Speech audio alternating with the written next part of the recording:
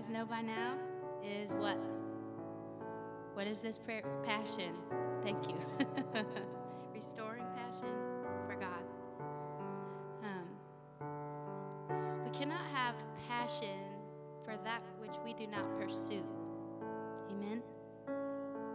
So if we want to see our passion in God restored, then we need to restore our pursuit It's funny because if you look up the word passion, uh, one definition is a barely controllable emotion, but the other one is the suffering and death of Jesus Christ. Jesus Christ is the very definition of passion. Um, and he demonstrated that by dying for us. So, how we can demonstrate that passion right back is to live for Him by dying to our selfish ambitions. Amen? Because we need Him.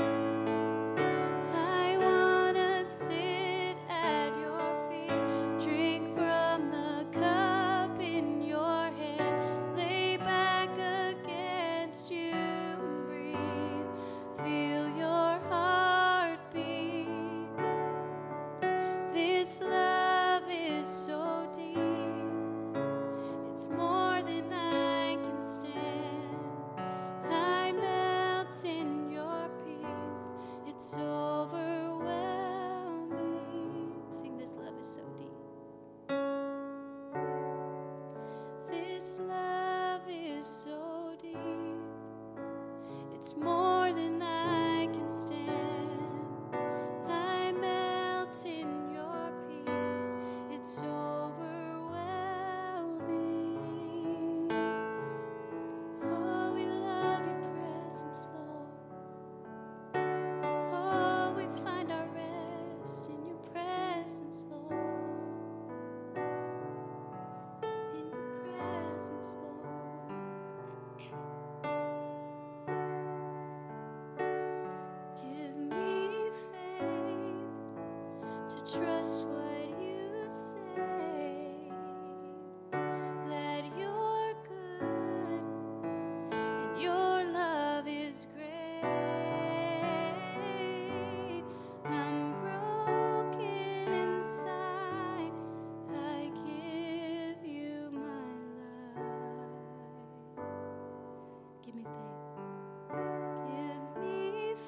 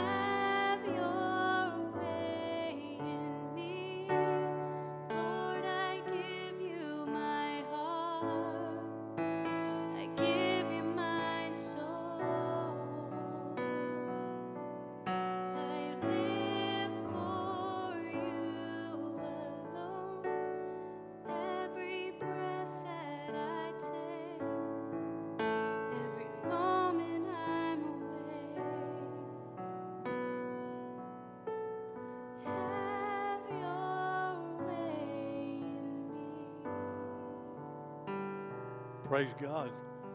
Can you say, Lord, have your way in my life this very night and for the rest of my life? Have your way, Lord. Amen. You may be seated tonight. Thank you. Appreciate you coming out with us tonight. Continuing on this week, got one more night after tonight. Praise God. It just has passed by really fast.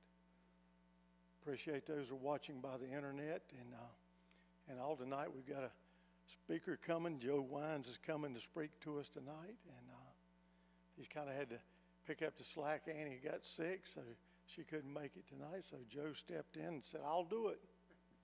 Come on, Joe. Let's Thank give you. him a hand. Thank you. Thank you. Thank you, Pastor David, Pastor Gunn, for inviting me and letting me speak tonight. It's uh, I'm humbled by it. Thank you. Thank you. Beautiful spirit here tonight. Uh, before I get started, though, I want to say two things. I'm not Andy Keys. so on the line there, you don't have to adjust your, you know, your cameras. you don't have to adjust your TV. I'm not Ann Keys, and you that came to um, hear Ann, I apologize that you have to hear me instead. But uh, we got a word from God tonight, so uh, we're going to turn in our Bibles to James chapter five, verse sixteen. And as we as we're reading there tonight, as as we've been talking about this week, passion, and and Tammy was talking about, you know, that that passion comes from time with God from spending time with God. And, and there's a scripture here in James 5.16, and, and the Amplified says, and we know it in the King James as the earnest, um, excuse me, the, the fervent, righteous, the fervent, righteous prayer of a righteous man avails much. The effectual, fervent prayer of a righteous man avails much. But in, in the Amplified, it says, the earnest, heartfelt, continued prayers of a righteous man uh, makes tremendous power available dynamic in his working. And tonight, one of the things I'm going to talk about is effective, effectual, fervent prayer, effective praying. Because a lot of us, I think we've gotten used to now I lay me down to sleep prayers and, you know, let God be God and and go on and not, not spending time with God. And that's, that hurts the heart of God. But life is about, uh, guys, intentionally positioning yourself and if you think about your life, everything, the way you drive your car, you intentionally sit in the driver's seat. You're not a mailman and you're not a, driving over there in the passenger side. We intentionally, you're on your job at your desk. You're intentionally sitting in your desk. You don't get back 10 feet. You put yourself in a position to do an effective job. And everything, we, we look at sports. They, everybody's got a position and they're to be effective in that posi- position. All of them, every sport you think of, they got positioned. They even call them positions. So it's a very important part of positioning yourself to hear from God, to receive from God. And one of the, the most important, uh, kind of neat stories that I picked up on was Mary and Martha, a very familiar scripture that uh, probably y'all, anybody here could tell it better than I can, but Luke chapter 10, verse 38 for 42. We have Martha that saw Jesus and his disciples come to Martha's house. And Martha greets them and she goes about her business of having fun, or not having fun, but working for Jesus' disciples, preparing for them. And I'm not going to get into Martha's personality tonight because she's a beautiful person. She's a wonderful person. She has a gift of hospitality that is so needed in the church today. But Jesus kind of said, Yeah, here's what's the problem. There, there was a little problem in her hospitality. That as we read the scriptures, it said Martha was distracted by all the preparations. And once again, going to the Amplified, she was overtly occupied and too busy. She was distracted with too much serving. I didn't think there was such an animal, but there can be, and we'll be talking about that in a minute. Her distraction led to an irritation. She kept looking. This is my imagination of the story. Uh, Jesus and the disciples are there. Mary sitting at Jesus' feet, having a good time, just said she was listening. And I can imagine she made eye contact with him and she was just taking in the, the things of God. And, and here's Martha about doing, doing, doing that, you know, and then she got, and ladies, she gave Mary the eye, the look. she gave Mary the look. And then I imagine she grabbed the vacuum cleaner and started, every time she came near it, she probably hit Mary's feet. And then she was probably slamming pots and bowls, and, and then she was slamming cabinets. And And you know, ladies, you know that slamming, you know, they, they've, they've put a stop to that now, haven't they? Have you, have any new builders, you know what I'm talking about? They put a stop to you women slamming cabinets. They've got these cabinets, and you can slam as hard as you want to, and they go, and they get about three inches, and they go, so you can't do that anymore. All right, but anyway, moving right along with the story. Mary intentionally sat at Jesus' feet because there was Martha, and she was distracted by her, her priorities, her preparations, and her distraction was leading to this irritation. And she was she come into the face of Jesus, and she gave Jesus the eye. Can you imagine that? And she said, "What we've all said before. Read it with me, Lord, don't you care about me? I'm doing all the work by myself. You've got to tell Mary, and we also tell Jesus." what to do. Tell Mary to help me. Tell Mary to help me. And you don't care, Jesus, but Mary was intentionally sitting at Jesus' feet, listening. And I love it. The Amplified said that she seated herself at the feet of Jesus to hear his teachings. And that's, a, that's what we have to do the intentional. I made sure that word was up there, the intentional. And Jesus says, and we love it. You Brady Bunch people, eh, people that watch the Brady Bunch growing up, love the scripture right here where it says Martha, but Marcia, Marcia, Marcia. Jesus said, Martha, Martha, Martha. Are you worried? You're upset about many things. Amplified, ampl- anxious, and troubled. You don't need to be. He said there was only one thing that was needed. I need only one thing from God. What was that? He said, Mary has chosen that best thing, that better thing, that which is to her advantage. Don't we want to have an advantage in our Christian walk with God? All we hear about so many times is the devil, how strong and big he is. But God says, I'll give you the advantage if you'll sit at my feet. I'll give you the power you need if you'll sit at my feet. And I would love to tell you what your definition of sitting at Jesus' feet is. I can't. The Holy Spirit is going to speak to each and every one of you tonight and tell you what it means for you to sit at Jesus' feet. How are you supposed to sit at Jesus' feet tonight? That's something the Holy Spirit's going to speak to you. What was it she chose? She chose to sit at, feet, sit, sit at Jesus' feet, to look into his eyes, hanging on every word. Nothing else mattered. She was right where Jesus wanted her to be.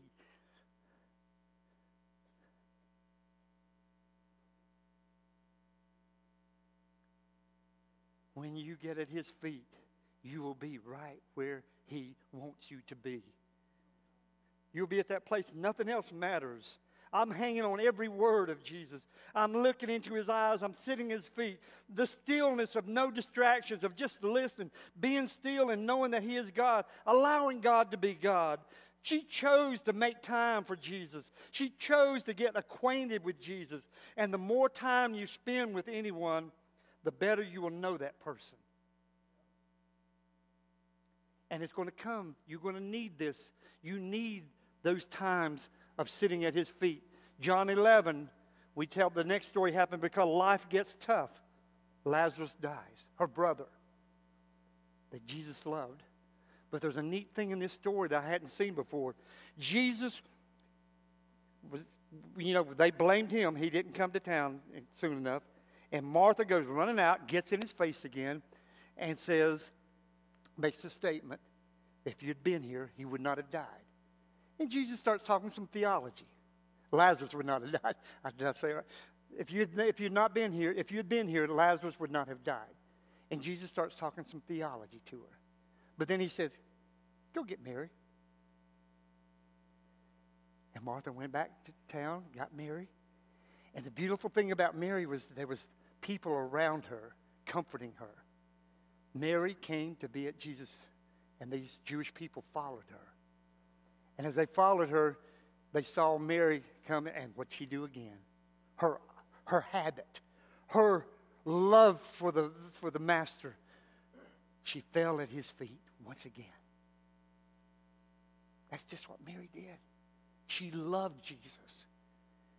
And she wanted to spend time with him. She wanted to get to know him. She wanted to hang on again to every word that he had spoken to her. And she'd been listening.